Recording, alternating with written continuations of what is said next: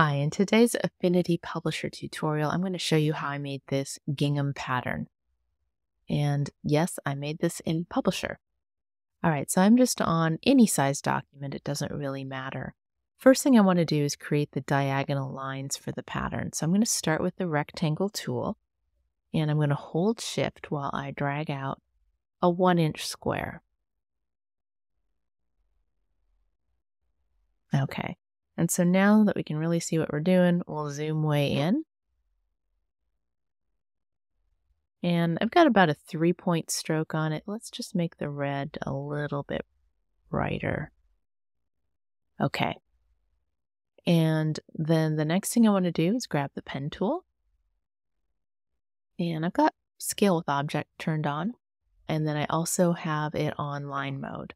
And so I'm just going to go from one corner of the rectangle to the other and draw a line. So just click, click, and that's it. Now we'll go to the move tool and we'll move this to the outside edge of this and leave it fairly centered. And now I'm going to do Command or Control J, depending if you're on Mac or PC. So Command J, that created a duplicate copy. Hold Shift so that as you move it, it stays parallel, and we'll just move it down a little bit.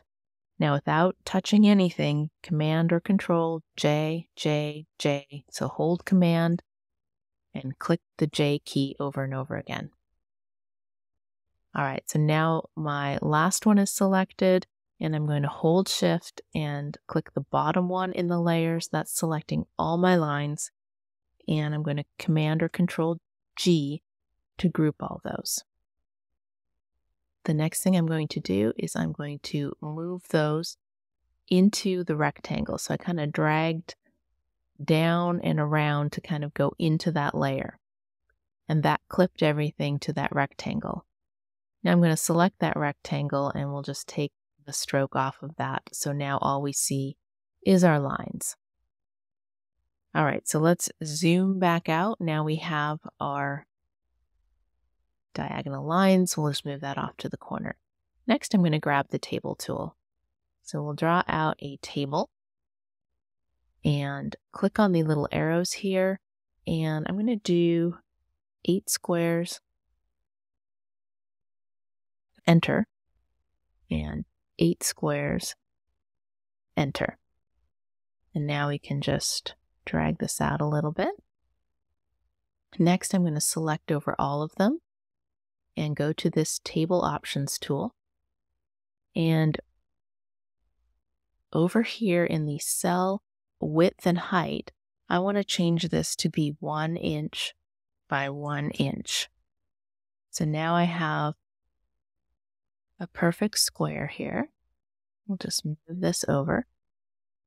The next thing is I don't want to have any lines in this table, so I want to turn all of those off. So select everything again, and under stroke and fill options, I am going to just turn off the stroke here, and just for good measure, click in the color box and just make that no color. So that did the outline. Now we need to do all the inside parts too. No stroke and fill, and now you can see the table's still there, but when we click away, it's blank. There's no fill lines. All right, so now with the table, I'm going to go into every other square and color that red.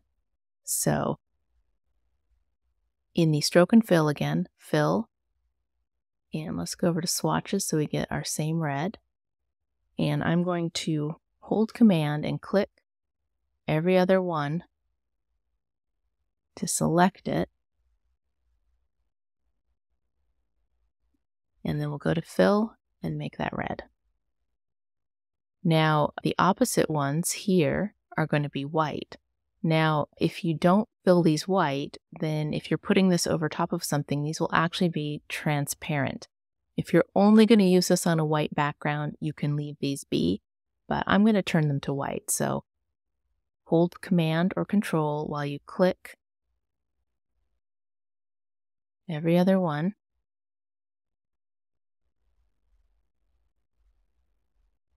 Oops, not that one. And we will fill this with white. now we're going to grab this and we are going to copy it. And I'm going to click here. There's no way to multiple select that I have found when you're pasting an object into here. I've tried it, it didn't work. And so we're going to go in between all the reds.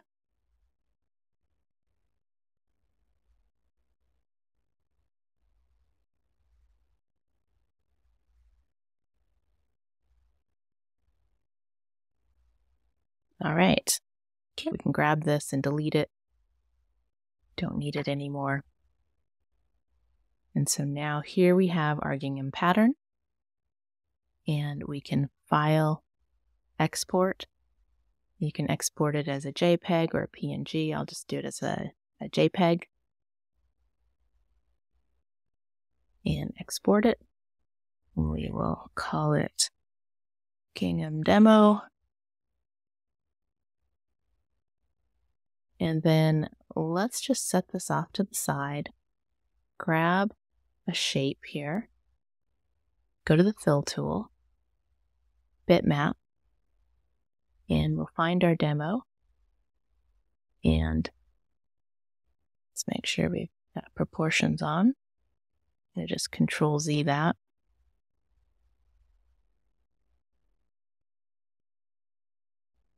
And ah, I see what we did wrong. So let's back up here a second. We'll delete this shape and find our table here. Move it back onto the screen. We missed one little setting, export, selection only. So we need to have the table selected and selection only JPEG and export it. Just overwrite the last one and let it replace. All right, now let's move that off to the side. Put a shape here and go to the fill tool and we will choose bitmap again so that we can choose our new one. And we've got extend set to wrap. And now we can see that we definitely do have a nice seamless gingham pattern. So I hope you found that fun and helpful. So thank you so much for watching.